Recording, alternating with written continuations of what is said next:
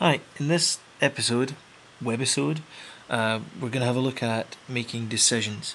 And decisions are really important in computer programming because without decisions, your program would pretty much run line to line and then never do anything um, of interest. So, uh, decisions allow us to make things like uh, if the player hits a block, uh, then we play a sound. If the player uh, gets the end zone, we total up the, the number of coins they have, and if they have if they have over 100 coins, they get an extra life. If they have over 200 coins, they get to do a bonus level. All these kind of things. These are the these are decisions that the the programmer builds in using if statements. And we're going to have a look at if statements just now. if statements are fairly easy, but we're going to introduce another little thing as well um, called a variable.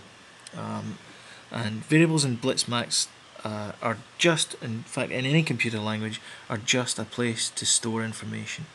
But you need to tell it what type of information you're going to store in that, that variable. So variables are just like a box, but you need to describe what's going to be put in that box.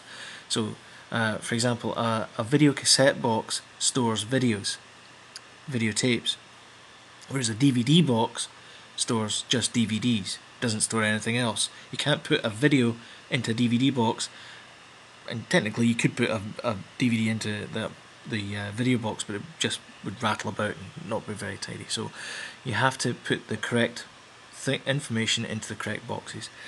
So in this one, we're going to create uh, a simple if statement that displays uh, a message if this, this statement is true. So first of all, we're going to say we're going to have a variable called is snowing, and we're going to set that to true. And we're going to say if is snowing. Print it is snowing. Okay. So in this line here we're creating a variable called is snowing. And we're telling BlitzMax it's going to be an integer BlitzMax is slightly kind of weird depending on different if you're used to different languages. Uh, this, although it's an integer, uh, we're setting it to this value true. True is the equivalent of one in BlitzMax. It just means that it's it's it's non-zero. Uh, and we'll come back to this much later when we talk about variables and so forth. But this one here, this line here with the, the flashing cursor, this line here says create a variable called is snowing, set it to type integer and give it a default value, in other words set the value up to be true. And this block of text here is your actual if statement. So we have if and then a condition and the condition has to boil down to being true or being false. It can't be anything else, it can either be true or false. So if is snowing, print it's snowing. And then we put end if at the end of that. So when we run it, build and run. Linking, linking, linking. And eventually it'll come back and it'll say it's snowing. Which is right because we've said snowing is true. And because it's that saying if is snowing is true, we could actually have written equals true there. But because this thing here, this what's called a condition, must be a, a Boolean value. A Boolean just means it's true or false. We can actually avoid that because we've, we've said it's going to be either true or false up here. So we can change this to false and then rerun it. So this time, hopefully it won't display anything if I've saved it all right. So it's executing and you can see here that nothing's getting displayed. So we've got an if. So if, if this condition is true, we print something. Otherwise, we just fall into the next next line. Uh, and just to prove that, we can do print uh, this is not a conditional line. Okay. So, oops. So if we run that, the only line that should be displayed is this is not a conditional line.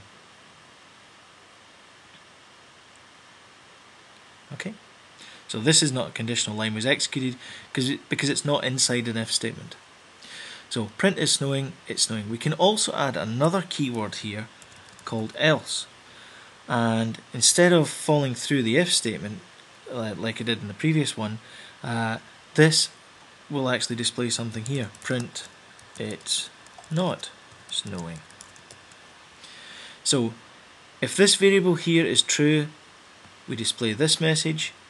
If this variable here is false, we display this message. So when we run it, we should get two lines now. So it's not snowing, and we also get the this is not a conditional line. And if we change this to true, and then run it, we should now get the message it is snowing. Okay. Okay. Um, we've covered quite a bit um, in, in sort of rough detail uh, in this tutorial. We've covered if statements. Um, we're going to look at at, uh, at looping in our next one. Uh, and there's different types of looping uh, within computers, within computer programming in general. Um, and we're going to look at them in, in separate episodes. So the, the, the next one, next week, hopefully, um, make no promises, um, will be all about the for loop. So, hope you'll join me then. Bye.